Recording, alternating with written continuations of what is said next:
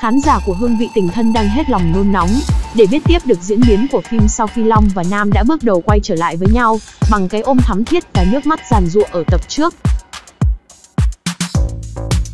Mới đây, khi một thành viên của nhà đài đăng ảnh cắt ra từ tập 19 sẽ lên sóng vào tối 23 tháng 8, những tiết lộ thú vị song song đó đã khiến người xem phải bán tín bán nghi nhưng lại vô cùng thích thú.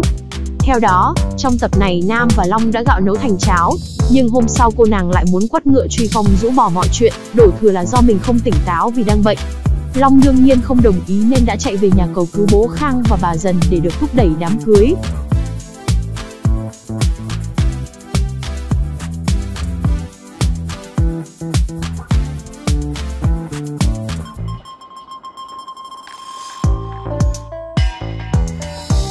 Bên dưới bài đăng, rất nhiều bình luận tò mò không rõ câu chuyện trên thực hư đến đâu bởi giọng điệu được viết ra đúng là để gây cười.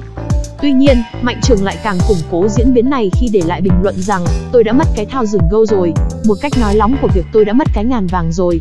Nghe đến đây, khán giả lại càng nóng lòng muốn được xem phim ngay.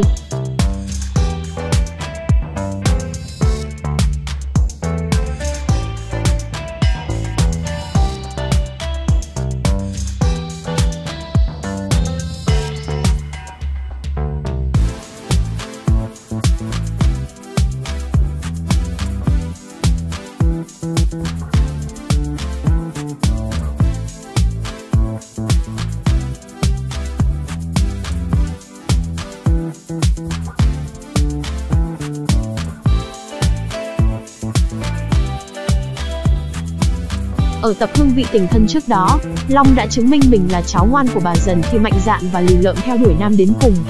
Mặc cho cô liên tục xua đuổi và nói lời từ chối, nhưng Sắc vẫn kiên trì đi theo để dùng sự chân thành cùng mong muốn quay lại đầy tha thiết để khiến cô siêu lòng.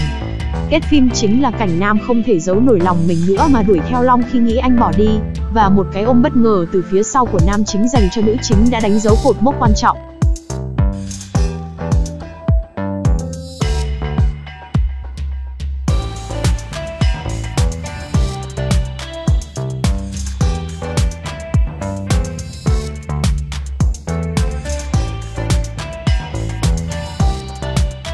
Nhiều bình luận thú vị của khán giả đã được để lại khi tập phim lên sóng.